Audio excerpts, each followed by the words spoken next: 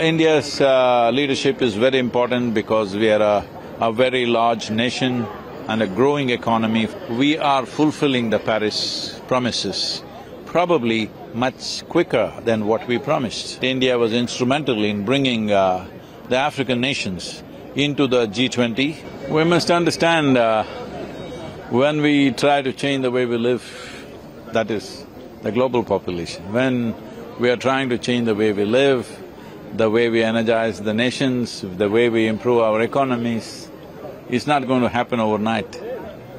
This is how human beings function. First we think of something, then we talk, then we invest our emotions into one or two things, the residual aspects, the reminders rather. We agree, we disagree, and somewhere a few things we will work to implement. Unfortunately, this is the nature of things when we try to do something on a global level. So this is an effort. COP is not an absolute solution, this is an effort to bring both awareness and action.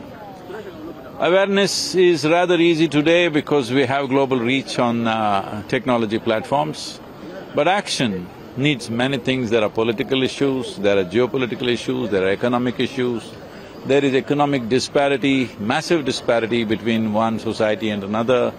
So, this is talking time, trying to shift the narrative, trying to push towards action. Fortunately, India is fulfilling uh, whatever promises we've made at Paris and we're moving in that direction, it's good. I was going to ask you, how do you see the role of India when it comes to, you know, tackling with climatic change? We heard Prime Minister during the last uh, summit when he said uh, about the uh, Panchamrit. So how do you see Prime Minister's leadership in this? I think it's very important, especially in COP twenty-eight, because uh, many of the top global leaders are missing for whatever reasons. So, uh, India's leadership is very important because we are a a very large nation and a growing economy, fastest growing economy among the Committee of Nations. And uh, above all, as I said earlier, we are fulfilling the Paris promises, probably much quicker than what we promised, probably sooner than what we promised. So we are heading in that direction, which uh, gives us a certain leadership and also, as you know, that India was instrumental in bringing uh, the African nations into the G20, which had never happened before. So giving a voice to all the African nations is also a big thing because Africa could be a big growth story in the next uh, fifty years.